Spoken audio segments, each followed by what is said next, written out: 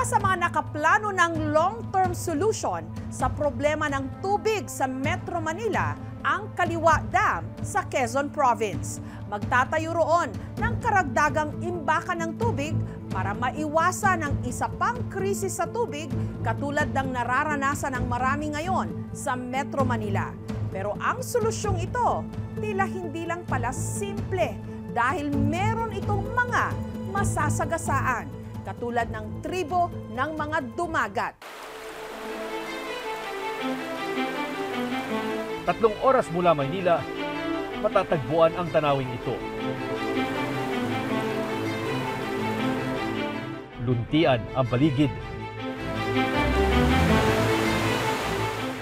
Malinaw ang tubig na dumadaloy sa ilog.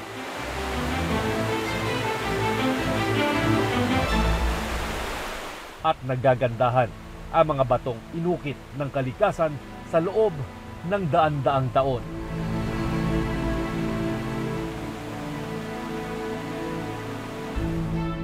Ito ang Tinipak River o mas kilala sa tawag na Kaliwa River dito sa Tanay Rizal.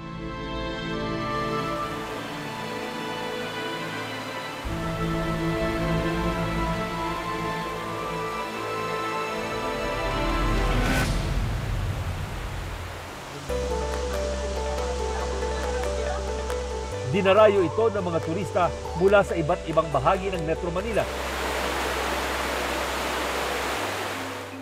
Ang Daraitan ay isa lamang sa mga barangay na sumasakop sa Kaliwa River. Halos isandaang porsyento ng mga residente rito mula sa tribong dumagat. Pagsasaka ang kabuhayan ng mga dumagat. Pero paglipas ng panahon, ang ilan sa kanila nagsisilbing tourist guide dito So sa pag-akit natin, so mayroon na kami ilang rules. Una, unang-una yung pagkakalat ng basura sa bawat dahil magkalat ng basura. Ano po? So sigarilyo man, kahit anong uri ng basura. Kwento niya mula sa pumutok ang turismo sa kanilang lugar, malaki na raw ang ipinagbago ng kanilang buhay. Kailasan talaga, sigurado na kami doon 500 rin isang araw na yun.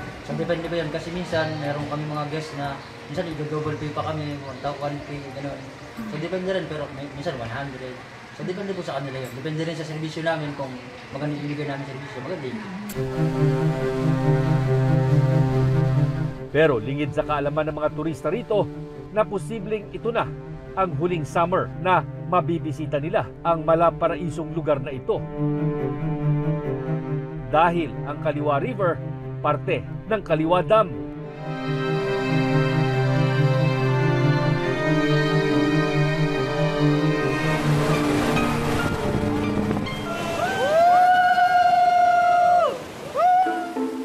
Ang mga magbabarkadang ito, first time daw sa Kaliwa River. Nagpunta ka dito, nakikita mo yung magandang ah, kanawin, kakaroon ng Kaliwa Dam Project and this is one of the places na maapektuhan o matatabunan ng tubig to provide water sa Metro Manila. Anong pananaw mo dun sa Siyempre- possibility na mawawala to? Siyempre, unang-una, mawawalan ng pamumuhay yung mga indigenous people na nakatira dito. So, masagasaan kasi sa project, yung mga ganong na malilit na pamayanan na sumula ng tumira dito. Okay. Sayang siya kasi ang hirap na nga sa atin sa Philippines na i-maintain yung mga likas na yaman natin and yung mga tourist spots kung saan tayo kilala. Tapos gigibain pa natin yung perfectly fine na tourist spot dito. And malapit nga lang siya sa, sa Manila. oo. Kung last resort na, then, then okay. Pero kung meron pang other way, bakit natin ito sasabi kung mer- meron pa palang other way?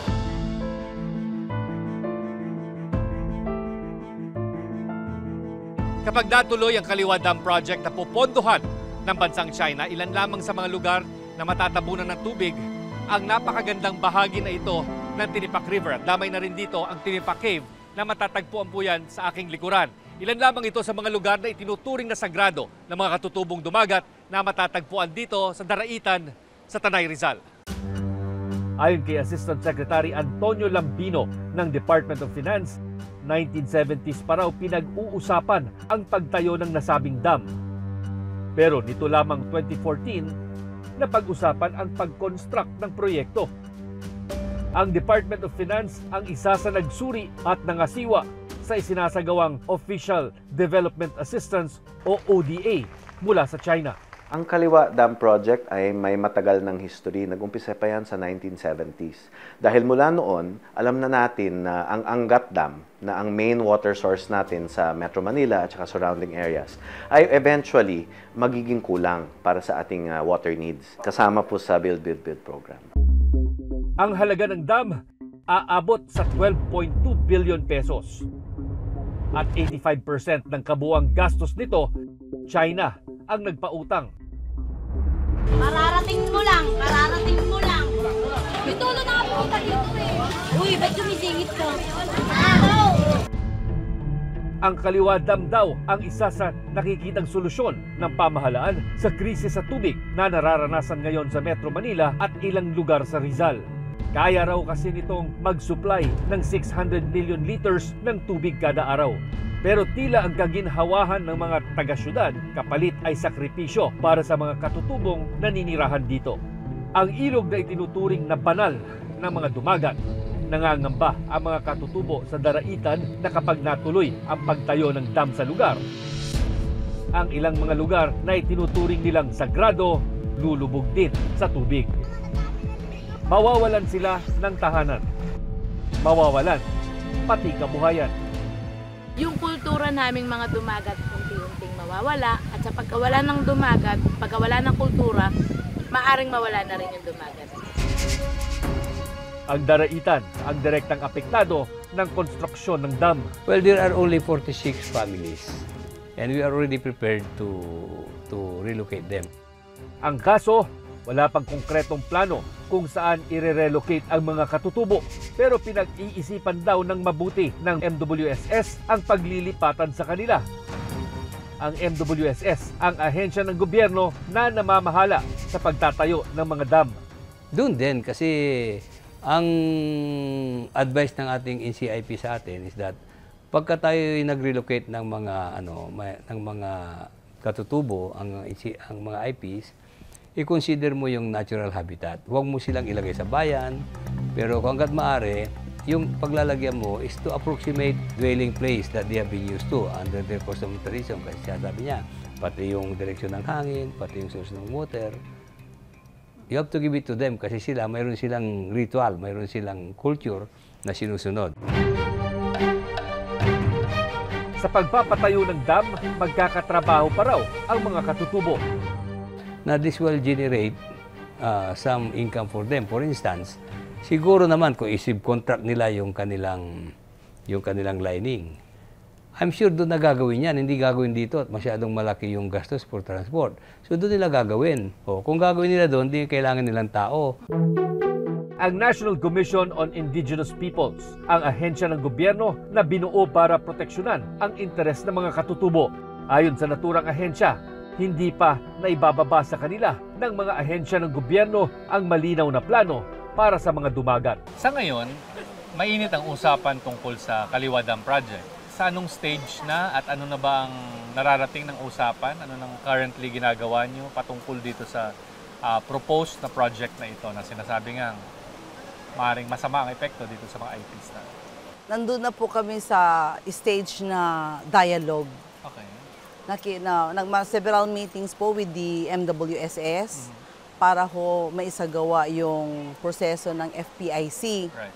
Ngayon po, nandun na ho kami sa stage na nag-conduct na po kami ng field investigation noong January para ho matingnan kung ano po talaga ang area na mako-cover ng Kaliwa Low Dam. Ancestral domain o lupaing minana ng mga katutubo mula pa sa kanilang mga ninuno ang lupa kung saan balak itayo ang dam. Ayon sa Indigenous Peoples' Rights Act o RA 8371, ang ancestral domain ng mga katutubo ay maari lamang magamit sa mga proyekto ng gobyerno kung may consent o pahintulot ng mga katutubong naninirahan sa lugar.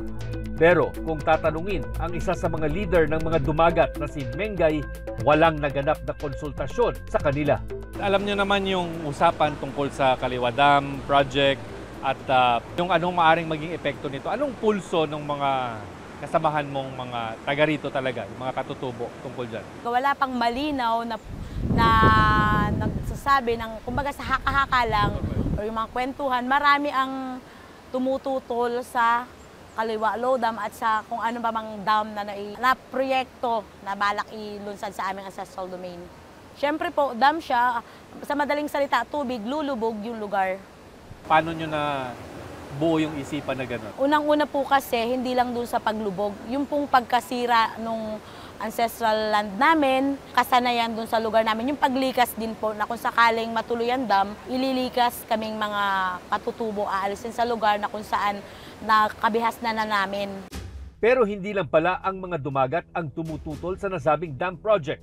Maging ang ilang environmental groups tutol din sa proyektong ito.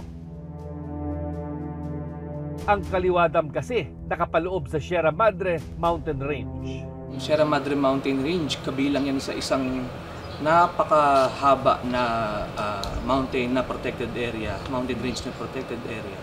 Tapos nagsisilbi itong ano eh, ah, source ng tubig ng iba't ibang mga probinsya mula North Luzon hanggang Southern Luzon.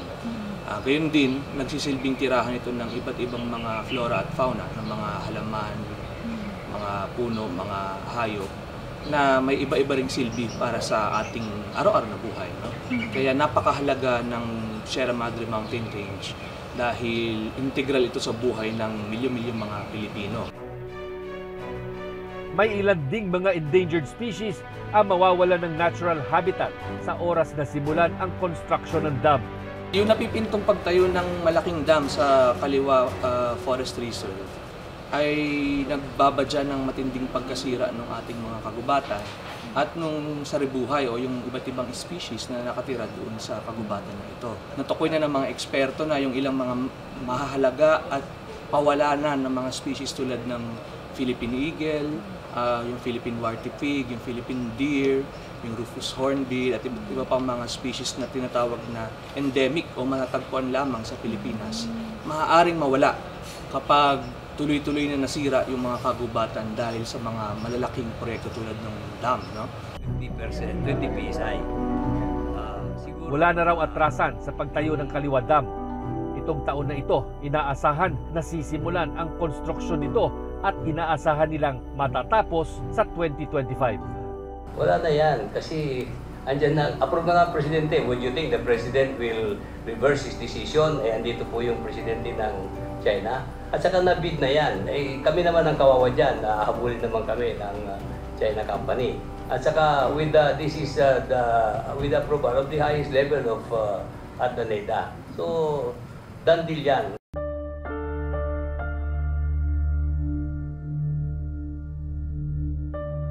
Kailangan ba na para may mabuhay na isa, may isang mamamatay? Ito po yung buhay namin. Nandito po yung kasanayan namin. Aalisin kami at dadalhin kami sa isang lugar na hindi naman po applicable sa amin kasi karamihan po sa amin hindi nag-aral.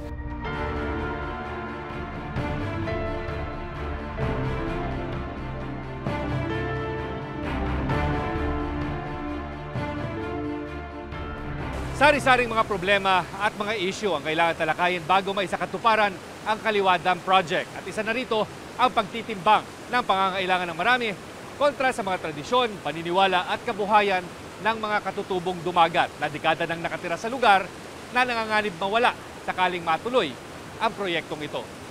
Patuloy na magbabantay sa mga issue ng bayan, ako, si Chino Gaston kasama sa iisang brigada.